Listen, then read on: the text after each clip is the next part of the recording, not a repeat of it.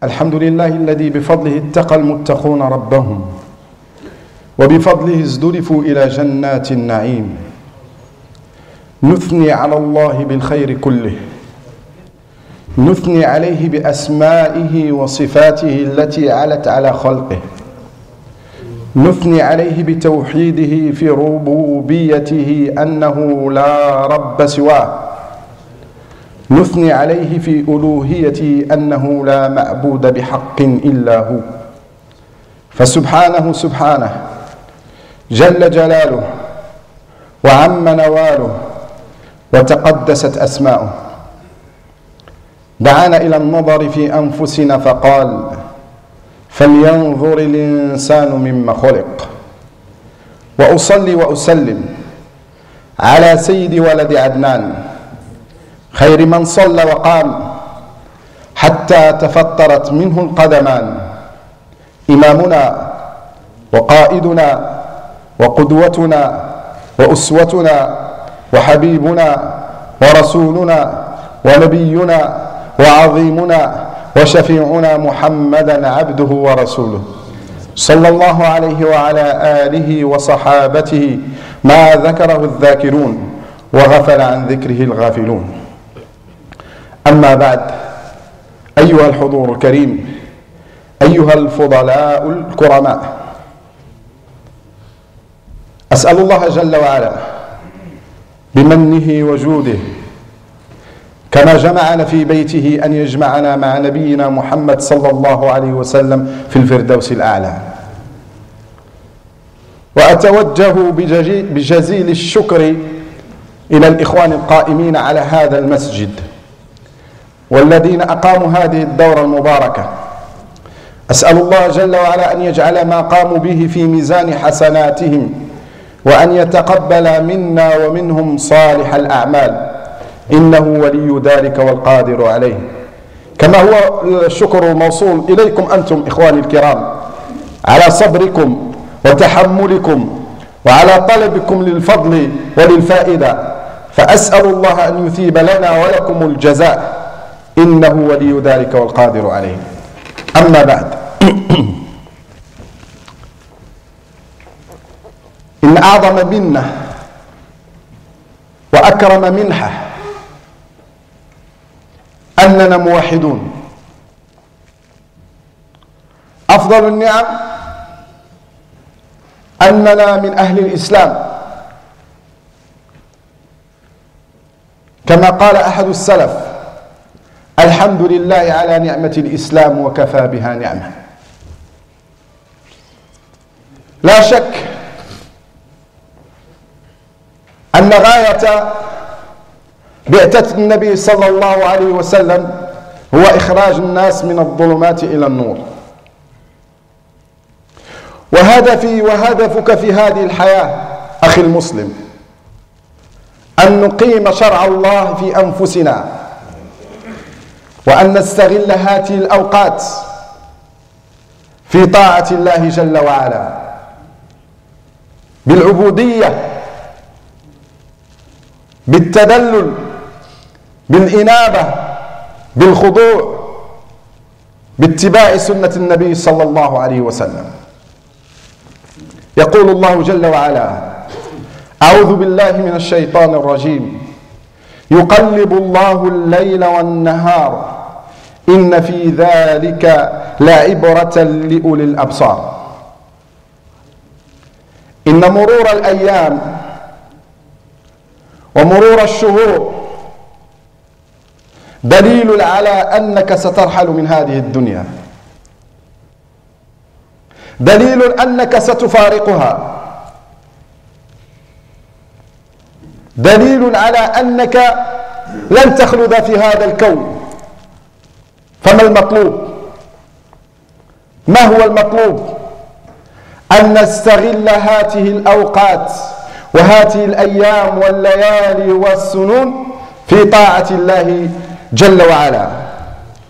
وأن تعلم أخي المسلم أنها هي رأس مالك في هذه الحياة. وما هذه الحياة؟ إلا تقلب بين يقظة ونوم. ونها بين بين يقظة ونوم. ونهار وليل وسرر وحزن وسرر ومشي ووقوف. قال الله تعالى وهو الذي جعل الليل والنهار خلفة لمن أراد أن يذكر أو أراد شكورا. قال الحافظ ابن كثير رحمه الله جعل الله الليل والنهار يتعاقبان توقيتا للعبادة فمن فاته عمل بالليل استدركه في النهار ومن فاته عمل بالنهار استدركه في الليل. وقال قتادة رحمه الله فأروا الله جل وعلا من أعمالكم خيرا في هذا الليل والنهار فأروا الله جل وعلا خيرا في هذا الليل والنهار فإنهما مطيتان تحملان, تحملان الناس إلى آجالهم وتقربان كل بعيد وتبليان كل جديد وتجيئان بكل موعد إلى يوم القيامة. نسير إلى الآجال في كل لحظة وأعمارنا تطوى وهن مراحل ترحل من الدنيا بزاد من التقى. فعمرك أيام وهن قلائل. ما هذه الأيام إلا مراحل يحدو بها حاد إلى الموت قاصد. وأعجب شيء لو تأملته أنها منازل تطوى والمسافر قاعد. إن مرور اليوم إن مرور اليوم بك عبد الله بل مرور الساعة تدنيك من الأجل. فالعاقل منا عباد الله. العاقل منا من يرى أن هذه الأيام مراحل يقطعها إلى الآخرة. قال الحسن البصري رحمه الله يا ابن آدم إنما أنت أيام كلما ذهب يومك ذهب بعضك. أحبتي في الله إن مضي الليل والنهار يبعدان من الدنيا ويقربان إلى الآخرة فطوبى لعبد تفقه إلى ذلك. أو تفطن إلى ذلك. روى الإمام البخاري في صحيحه. من حديث ابن عمر رضي الله عنهما قال أخذ النبي صلى الله عليه وسلم بمنكبي ثم قال يا ابن عمر كن في الدنيا كأنك غريب أو عابر سبيل. نحن غرباء في هذه الدنيا. قال له النبي عليه الصلاة والسلام كن في الدنيا كأنك غريب. وهل غريب يستوطن؟ الغريب ما يجلس في البلد. وغريب عنها. أو عابر سبيل. عابر سبيل لا يجلس في المكان الذي يمر عليه. يعود من حيث أتى. فهذه وصية النبي عليه الصلاة والسلام لابن عمر. وكان ابن عمر رضي الله عنهما هذا الصحابي الجليل يقول إذا أمسيت فلا تنتظر الصباح. وإذا أصبحت فلا تنتظر المساء وخذ من صحتك لمرضك ومن حياتك لموتك. خذ من صحتك لمرضك ومن حياتك لموتك. قال الله تعالى وما الحياة الدنيا إلا متاع الغرور. قال الإمام القرطبي رحمه الله متاع الغرور أي تغر المؤمن وتخدعه فيظن طول البقاء وهي فانية وقال ابن كثير رحمه الله متاع الغرور يعني تصغيرا لشأنها وتحقيرا لأمرها وأنها دنيئة قليلة زائلة. هذه هي الدنيا. حقيرة قليلة زائلة. كم ستعيش؟ ثمانين ستين سبعين مئة. تكفيك ألف. سترحل. ستموت. ستحمل على أكتاف الرجال. وسيدخل بك إلى هذا المكان. وسيصلى عليك. صلاة لا ركوع لها ولا سجود.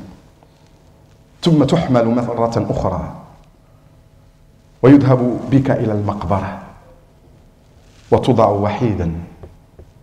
في حفرة! حفرة ضيقة مظلمة مليئة بالديدان. وحدك عبد الله. وحدك أمة الله. لا أب ولا أم ولا أخ ولا ابن ولا زوجة ولا جيران ولا أهل ولا سلطان ولا مال إلا العمل الصالح. إلا العمل الصالح. فإذا أحبتي في الله. لا بد أن نستغل هذه الأعمار في طاعة الله جل وعلا حتى نكون من المرضيين. وقال قتاد رحمه الله هي متاع متروك. والله والله الذي لا إله إلا هو. أوشكت أن تضمحل على أهلها. فخذوا من هذا المتاع. طاعة الله إن استطعتم. أخي المسلم أقول لك والله إن الشربة التي تشربها تقول لك إن هذه الحياة الدنيا متاع. وإن الملابس التي تلبسها ثم تبلى تقول لك إن هذه الدنيا إن هذه الحياة الدنيا متاع. وإن الصيف والشتاء اللذان يتعاقبان في علينا يقولان لنا إن هذه الحياة الدنيا متاع. فمن تأمل هذا كله علم أنها ليست سكنا وليست موطنا. إن لله عبادا فطنا طلقوا الدنيا وخافوا الفتنا.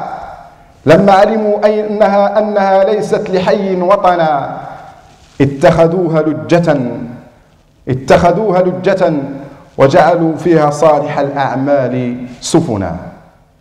الدنيا مزرعة للآخرة. الدنيا مرحلة ثم تنقطع ثم تقبل على الله جل وعلا. قال داود الطائي رحمه الله لرجل من أصحابه يوصيه قال لرجل من أصحابه يا أخي إنما الليل والنهار مراحل تنزل بالناس مرحلة مرحلة حتى ينتهي بهم ذلك إلى آخر سفرهم. فإن استطعت أن تقدم في كل مرحلة زادا بين يديك فافعل. إذا استطاع الإنسان أن يكثر من الحسنات وأن يكثر من الطاعات وأن يكثر من مرضاة الله جل وعلا فليفعل. الدنيا ثانية فليفعل سنرحل سنموت سنفارق الأهل. قدم بطاعتك لله. قدم بأخلاقك. يعني إحنا الآن تنملؤ ما يسمى عندنا برصيد البنك. نشغلوه نشتغلوه الهم أنه نعمروه. فعندنا رصيد أخروي يمتلئ بالحسنات. هناك لا دولار ولا دينار ولا أورو ولا درهم ولا ين. هناك عملة الآخرة الحسنات. فلنكثر منها في الدنيا حتى نجدها بين أيدينا غدا يوم لقاء الله جل وعلا. وقال أحد السلف كيف يفرح في هذه الدنيا من يومه يهدم شهره؟ وشهره يهدم سنته وسنته تهدم عمره وعمره يقوده إلى أجله وحياته تقوده إلى موته. عجبا لمن هذه هي حالاته هذه هي الحالة دياله.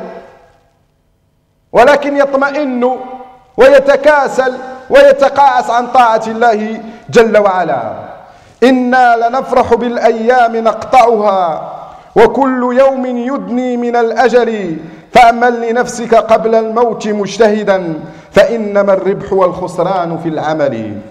أحبتي في الله الزمان يحصد أعمارنا فإذا مضى عام وأقبل آخر دليل على أنك مقبل على ربك لا محال. فلا بد أن نقرر أن نقرر في أنفسنا ومع أنفسنا أن نتوب إلى الله. فلازم أن نبادر بالتوبة. يا كل عاصي وكلنا عصاة ويا كل مذنب ويا كل مقصر تب إلى الله. عد إلى الله قبل فوات الأوان. لا زلنا في في لا زلنا في مكان ما زلنا في في وقت الإمكان. لا زال لدينا وقت عندما نستيقظ ويعيد الله لنا أرواحنا. هذا من فضل الله فالفرصة أمامنا. لا نيأس ولا نقلط من رحمة الله. بادروا بالعودة وبادروا بالتوبة وبادروا بالأوبة. واسألوا الله جل وعلا من فضله. واسألوا الله جل وعلا أن يتقبل الأعمال لأننا راحلون لأننا مقبلون على أهوال قبر قيامة حشر ميزان صراط. والله الأمر خطير إخواني. لا حول لنا ولا قوة. بما سنلقى الله. إن كان سلف هذه الأمة رغم صلاحهم من الصحابة رضوان الله عليهم وتزكية نبينا لهم صلى الله عليه وسلم. ومع ذلك كانوا يخافون يوم الموت أو يوم خروج الروح. وعمر عندما قتل رضي الله عنه قتله الملعون أبو لؤلؤ المجوسي قبحه الله. وضع رأسه على فخذ ابن ابن عمر عبد الله فكان يضع رأسه على التراب ويقول ويلي إن لم يغفر لي ربي. هذا كان يقولها عمر الفاروق رضي الله عنه. فكيف سيكون حالي أنا وحالك أنت أخي المسلم؟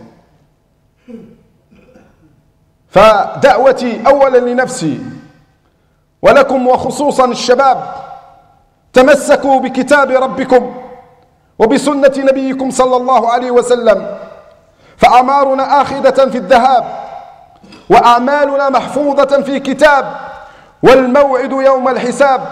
فكيف تأنس عبد الله؟ كيف تأنس بالدنيا وأنت مفارقها؟ وكيف تأمن النار وأنت واردها؟ فيا عجبا لمن يلهو وعمره يقوده إلى حتفه ويسير برجله إلى قبره. أيها الشباب أيها الشيوخ أيتها الأخوات أيها الغني أيها الفقير صحتك تقودك إلى مرضك. وحياتك تقودك إلى موتك. فالجد الجد قبل حلول المنايا والتوبة التوبة من الذنوب والخطايا. فمن أراد من منكم موعظة فالموعظة ما تبصرون. ومن أراد منكم تذكرة فالذكرى ما تسمعون. يقول الله جل وعلا يقلب الله الليل والنهار إن في ذلك لعبرة لأولي الأبصار. أسأل الله جل وعلا أن ينفعنا وإياكم بما سمعنا. وأن يعلمنا ما ينفعنا وأن ييسر أمورنا وأن يبارك فينا وأن يرينا الحق حقا ويرزقنا اتباعه ويرينا الباطل باطلا ويرزقنا اجتنابه وأن يؤلف بين قلوبنا وأن يجعلنا من الطائعين وأن يجعلنا من العابدين. إنه ولي ذلك والقادر عليه. أقول قولي هذا وأستغفر الله لي ولكم والحمد لله رب العالمين. وليتفضل شيخنا شوعة إن شاء الله. بسم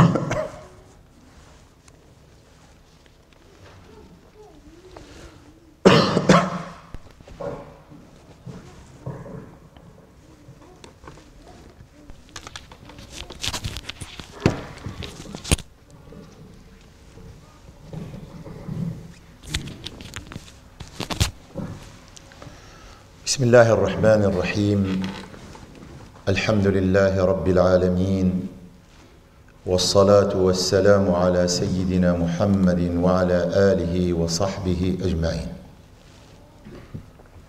أيها الإخوة المؤمنون وددنا لو استرسل الشيخ عادل في كلامه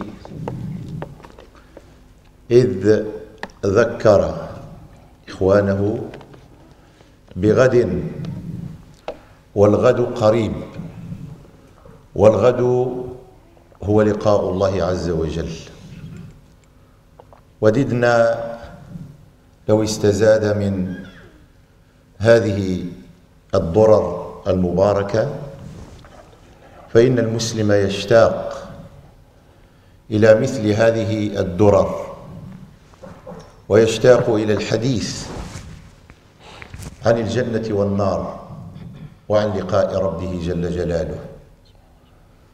فالدنيا كما أشار هي متاع وخير متاعها إذا رزقت أخ الكريم بإيمان وتقوى ورزقك الله عز وجل ذرية صالحة ورزقك الله تعالى زوجة صالحة.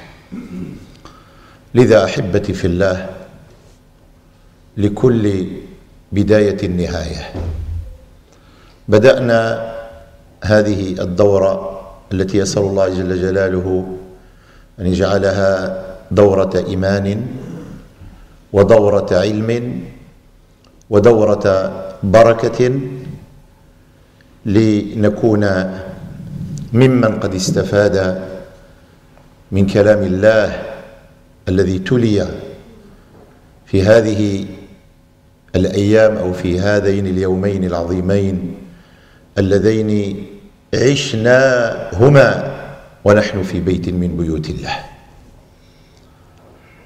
لذا أحبتي في الله البداية كانت أمس وقد انتهت وسيفارق بعضنا بعضا لكن تبقى هذه الجلسات الإيمانية التي هي في ميزاننا وسنجدها بين يدي ربنا. ستكون ذكريات لحياتنا. وكلما تذكر أخ من إخواننا مجالسة إخوانه وكيف كان يتحلق معهم في الحلق العلمية تذكر أن هذا العمل المبارك هو عمل ينقذ من النار. فإذا إخواني حتى لا نطيل عليكم نسأل الله جل جلاله أن تتكرر هذه الدورات الإيمانية في هذا المسجد.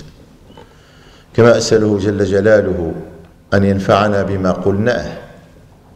وأن يزيدنا علما وأن يزيدنا محبة للدورات الشرعية وللقاءات الإيمانية وللحلق العلمية.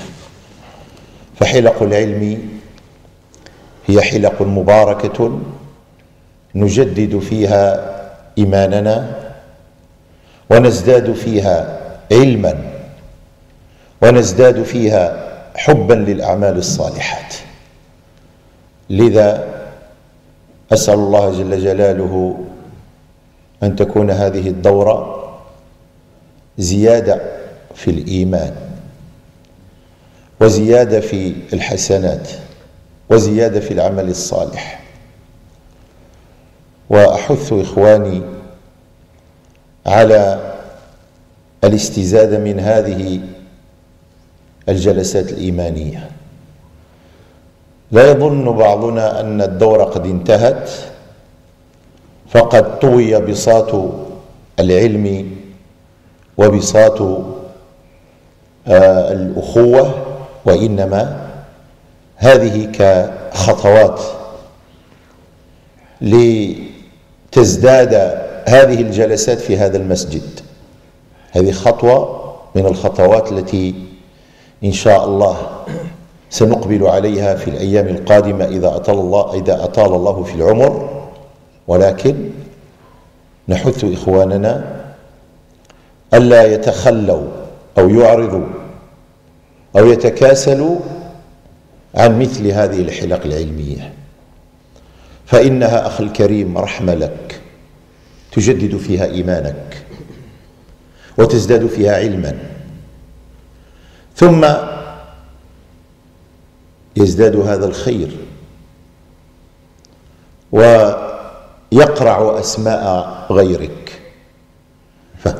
فأقول فهنيئا لمن وفق لهذا الخير. وساهم في آه، في هذه الدورة وفي إنجاحها. وكان أيضا سببا في بركاتها وشد من عضد إخوانه فأقيمت هذه الدورة وهو لبن من لبناتها وأخلص في عمله لله بشراه بشراه إذ بين النبي الكريم صلى الله عليه وسلم وقال من دعا إلى هدى. فالدعوة إلى الله تكون باللسان تكون بالمال وتكون بالتعاون. هذا خير عظيم. والدورات الشرعية هي المنارة. يعني النور النور الحمد لله تحرك في هذا المسجد. فيه نور فزاده الله نورا وقد آه، ذاق إخواننا حلاوة هذه الدورة.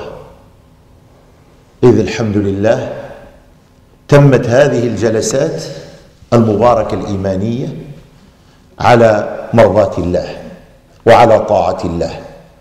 دروس في الصباح استفدنا منها. محاضرات باللغة الريفية وباللغة العربية والدارجة وبالهولندية. فقد الحمد لله أعطى هذا المسجد أعطى النور ديالو أعطى الخير ديالو أعطى البركة ديالو فإذا إخواني نتعاون نتعاون على هذا الخير. ولا يظن بعضنا أن الدورة الشرعية إذا انتهت انتهت الدروس. إحنا قلنا أن هذه خطوة من الخطوات اللي نحن مقبلون عليها. باش كل مرة نحيي هذه الجلسات فيما بيننا. لأن الدنيا ظلمات بعضها فوق بعض. غير تخرج من الجامع هي أمامك فتن وظلمات. وأمامك مغريات ديال إبليس والشيطان. لكن إذا دخل العبد المسلم المسجد يذوق حلاوة الإيمان وحلاوة الطاعة. كتوجد منين كيجي للمسجد فيبدأ على بركة الله يصلي ركعتين. وقد انشرح صدره واطمأن قلبه واستقر عقله. فينسي هذا العمل ينسيه الدنيا وما فيها. ويقبل على الله وهو يرجو أن يغفر الله عز وجل ذنوبه وأن يرفع من قدره. اذا إخواني كما قلت لا نريد أن نطيل عليكم في كلماتنا ونحن أمامنا الطريق. فأقول لإخواني ما صدر منا من خطأ فالإسلام منه بريء فهو من أنفسنا ومن الشيطان. وجاء وما جاء من الخير والصواب فهو من الله. والإنسان لا حول له ولا قوة فلولا الله ما اجتمعنا ولا صلينا ولا أقيمت هذه الدورة. أراد الله عز وجل بنا وبإخواننا الخير. فوفقنا الله إلى هذا الخير. والحمد لله يومين. يومين؟ بحال واحد الساعة. دابا عاد كنفكر خلاص كملت الدورة نمشيو سبحان الله كيف كنا أمس كيفاش كنا في الصباح في الظهر في العصر. الله أكبر. وغدا كيفاش غادي نكونوا؟ ويبقى الإنسان يفكر. الله أكبر شوف. كيفاش كنت مع أخوتي؟ كيفاش كنت كيف كان جلوسي مع إخواني؟ وكنا الحمد لله على مائدة القرآن الكريم.